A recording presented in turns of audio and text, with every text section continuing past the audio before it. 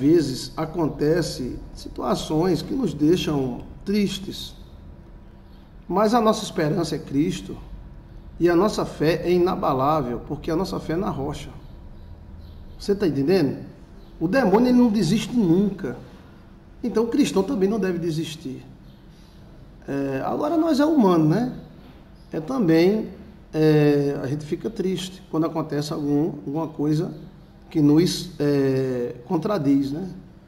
Mas levanta, sacode a poeira, dá a volta por cima, reconhece a queda e não desanima. Levanta, sacode a poeira, dá a volta por cima.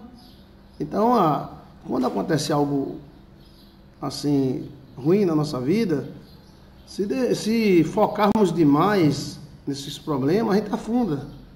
É a mesma coisa que aconteceu com Pedro. Pedro focou, ele focou é, nas ondas do mar e aí ele afundou. Então, foca em Jesus Cristo e tenta de novo. Seja o que for, seja o que for, tenta de novo. Perseverai, sejam perseverantes para o bem. Ah, se nós fôssemos tão perseverantes para o bem, quanto o demônio é perseverante para o mal. Ele leva fogo, ele leva queda, ele volta de novo, ele leva queda, ele é perseverante. O cristão ele desiste fácil das coisas. Mas é normal que fiquemos tristes. Entendeu? Porque somos Juju. Juju! É, nós somos Juju. Os humanos. E você tem que admitir que é humano. Nós não é de ferro. Mas o namoro acabou. Ficou triste. Não é para ficar triste, não, é? Fica, mas não abatido. Triste é uma coisa e abatida é outra. Qual é a diferença, pastor, de uma pessoa triste e uma pessoa abatida? É, o triste é triste. E o abatido é o abatido. Eita, que profundidade, meu! É. O triste é a pessoa que está triste, ele está ali, né? Se não me engano, as suas dores. O abatido é aquele que desiste, aquele caído, né? É, então, que Deus nos dê fé ânimo e pepé, perseverança, né? Triste, mas nunca abatido. Paulo não falou? Eu fico triste, mas eu não, de, não me deixo abater. Ou seja, eu me entristeço, mas cair eu não caio não. É, porque nós somos humanos, né? Humanos. E os, os seres humanos se entristecem, mas abatido não, se agarra com Cristo, né? É, nós somos humanos, velho. É, Elonice. É isso aí. Então, levanta, sacode a poeira, dá a volta por cima, reconhece a queda e não desanima, né? É, observa tudo à tua volta, mas não desiste. Não desiste. Não desiste. Eu acompanhei uma mulher que ela passou por dois casamentos horríveis. Né? Mas no terceiro ela arrumou o príncipe da sua vida. Então, ela vivia né, por que vivia? Porque ah, no final ele morreu, né? Mas enquanto ele viveu, ela vivia no paraíso, né? Adão e Eva no paraíso.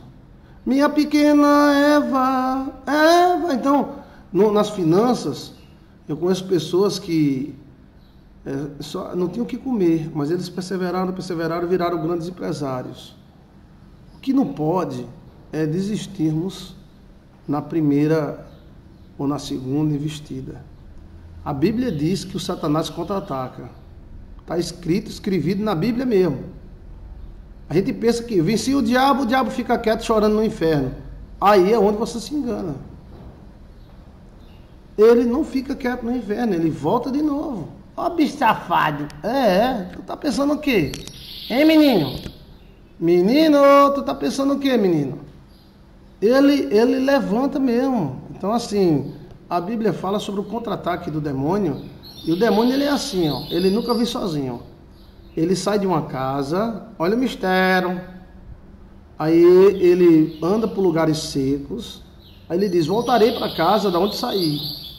Aí ele chama mais sete demônios. Chama mais sete, ele é sabido. Né? Ele é sabido. ele faz acordos, chama demônios, ele faz conjunções, aí ele vem e entra, tenta entrar de novo. Entendeu como é a coisa? Sionhão, sionhão. É. Olha a atitude do diabo, como é que faz. Então a gente não pode ser tolo pensando que se vence o diabo, parou, ficou por ali. Ao contrário, ele tenta voltar. E às vezes consegue, né? É, então, se você venceu, continue lutando. Ah, eu venci, pastor, agora relaxei. Não, você venceu, mas continue com a guarda, ó. Atento, vigiai, tá bom? Vigiai e orai. Vigiai e orai, orai na seara e na vinha do Senhor. Meu desejo é orar e ocupado eu quero estar, se na vinha do Senhor.